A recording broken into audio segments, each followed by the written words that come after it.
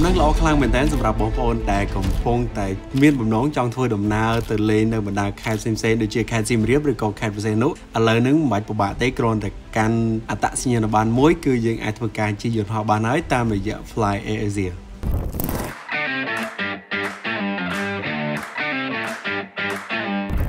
កាលពីប្រហែលម៉ោងមុននេះក្រុមហ៊ុន Fly Air Asia Cambodia ហ្នឹងគេបានចុះផ្សាយថាការធ្វើដំណើរនៅក្នុងស្រុក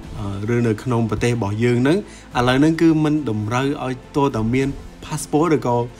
លិខិតឆ្លងដែនដូចមុនទេគឺអ្នកទាំងអស់គ្នាគ្រាន់តែមានឯកសារមួយចំនួននៅខាងក្រោមក៏អាចធ្វើការហោះហើរនៅក្នុងស្រុកបានដែរដោយមិនចាំបាច់ត្រូវការលិខិតឆ្លងដែនអញ្ចឹងចង់ដឹងអត់ថាតើលិខិតទាំង3នោះ ឬក៏ដូចជាឯកសារទាំង3នោះមានអីខ្លះអូខេអញ្ចឹងសម្រាប់ឯកសារទី1គឺសម្បត្តិកំណើតសម្រាប់តែកុមារមិនទាន់គ្រប់អាយុទី2អត្តសញ្ញាណប័ណ្ណឬលិខិតឆ្លងដែនហើយនិងទី3បានមន្ត្រីរាជការអញ្ចឹងនៅពេលដែលបងប្អូនចង់ធ្វើដំណើរឬក៏ការហោះហើរនៅក្នុងស្រុកពីភ្នំពេញទៅកាន់ក្រុងប្រសេអនុពីភ្នំពេញទៅកាន់សៀមរាបឬក៏អ្នកសៀមរាបឬក៏អ្នកប្រសេអនុគាត់ចង់មកលេងនៅភ្នំពេញ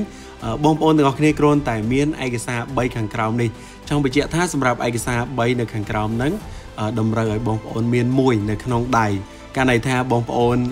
អត់ទាន់បានធ្វើលិខិតឆ្លងដែនទេអញ្ចឹងបងប្អូនគ្រាន់តែកាន់អត្តសញ្ញាណប័ណ្ណរបស់បងប្អូនបើសិនបើយើងសញ្ជាតិខ្មែរកាន់អត្តសញ្ញាណប័ណ្ណសញ្ជាតិខ្មែរយើងអាចធ្វើការជិះយន្តហោះបានហើយអានេះគឺជារឿងងាយស្រួលខ្លាំងមែនតើជាពិសេសនៅពេលនេះសបុតយន្តហោះរបស់ AAC ក៏មានតម្លៃធូរថ្លៃដែរអញ្ចឹងខ្ញុំគិតថាជាពេលល្អសម្រាប់យើងគួរតែ ជិះយន្តហោះឲ្យបានម្ដងមុនពេលដាច់ឆ្នាំឬក៏យើងជិះយន្តហោះឲ្យបានម្ដងនៅក្នុងជីវិតរបស់យើងទោះអត់ទាន់បានចេញទៅលេងក្រៅប្រទេសតែយើងមានឱកាសបានជិះយន្តហោះនៅក្នុងស្រុកយើងជាពិសេសជួយគ្រប់គ្រងទៅដល់ក្រុមហ៊ុន Air Asia ដែរដែលគេបានបើកក្រុមហ៊ុនជើងហោះហើរនៅខ្មែររបស់យើងជាពិសេសគឺមានជើងហោះហើរនៅក្នុងស្រុកតែម្ដង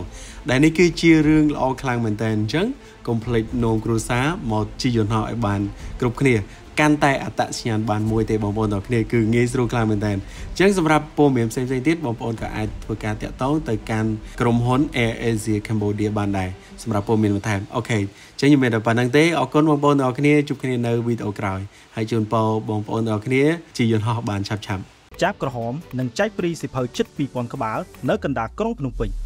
សូមកុំឲ្យខកខានពីបទសិភៅអាជីវកម្មតែមួយគត់នៅក្រុងភ្នំពេញដែលរៀបចំឡើងរយៈពេល2ថ្ងៃគឺថ្ងៃទី10 11ខែសីហាឆ្នាំ2024ព្រឹត្តិការណ៍ដែលប្រមូលផ្ដុំនូវស្នាដៃនិពន្ធល្បីៗក្នុងស្រុកនិងក្រៅស្រុកគំនិតរកស៊ីមកពីច្រើនស្ថាប័នផ្សេងៗទៀតជាង50គ្រឹះស្ថានបោះពុម្ពផ្សាយ